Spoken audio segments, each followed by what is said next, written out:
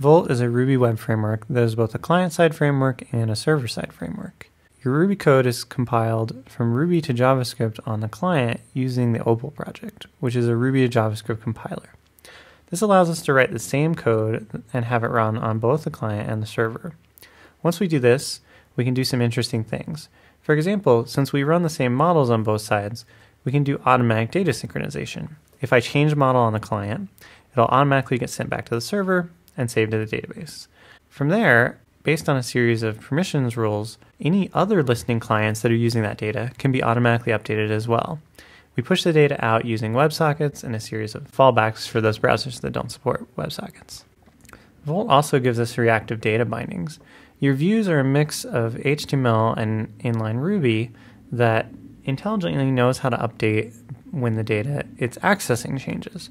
So, for example, if we call a method that looks up something in a model and then displays that, it will track internally that that part of the model was used to display that binding.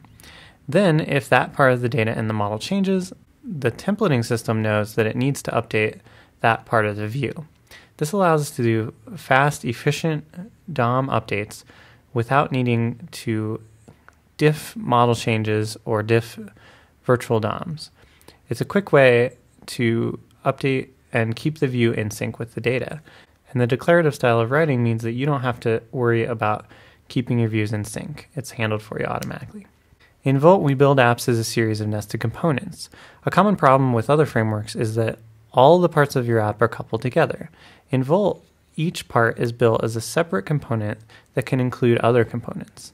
This means that parts of your app are inherently isolated and therefore can be easily reused.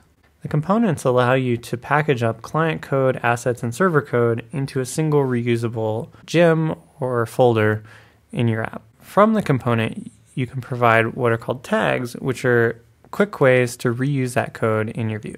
Tags can have attributes that can also bind to values. We already have some example components that we've been working on, things like field error messages, pagination, file upload, Google Maps, login sign up templates.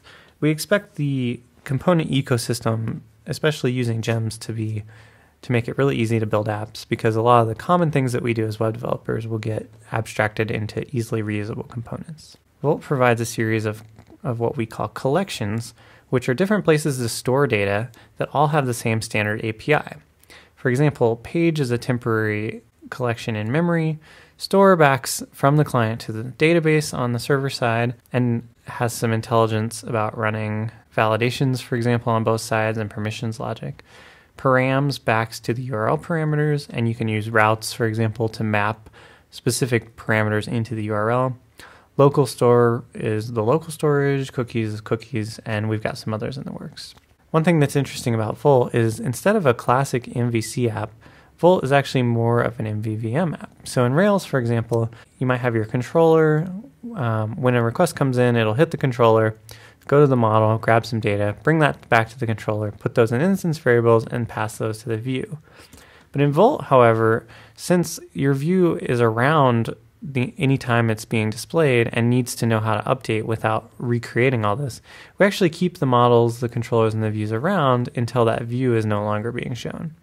So in Volt, things actually start with the view, the template starts to render, and then if it hits a binding that calls some Ruby code in the binding, it's going to call that code on the controller.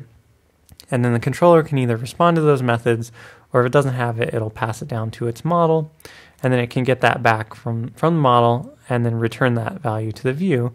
And the return value is, is then rendered based on the binding. What's interesting here is that because of our dependency tracking, if the data in the model changes, the view will re request that for those specific bindings. In Volt, you typically work with your models directly on the client side, but sometimes you need to run code on the server without loading a bunch of data up on the client side. For that, Volt provides what are called tasks. And tasks are a class that you can create. And on the client side, when you call the methods on those on that class, it'll return a promise. Then it will go to the server and run the code and then return the value to the promise or fail the promise with an exception. Volt models provide validations and permissions. The permissions are based around the CRUD operations. So you can say who can do what when you're creating, reading, updating, or deleting. And you can also be granular about which fields they can access specifically. So you can either allow or deny fields, and it's a pretty simple API to control all the, all your per- permissions needs. So just a quick recap, Volt gives you automatic synchronization, so you don't have to build all these REST APIs by hand. Um, and under the hood, we use WebSockets and different things so that the data automatically updates. It gives you lets you write in one language for both the client and the server. You can isolate parts of your app with components so they're easily reusable. It's a single framework, so you don't have to learn one framework for the backend, one for the server.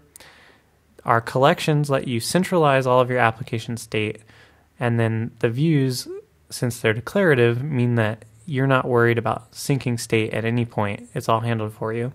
And then we also have a unified router that I didn't talk about that lets it makes it easy to map parts of your application state into the URL. We have a pretty active community. If you're curious about learning more about Volt, be sure to check out the other videos. Thanks.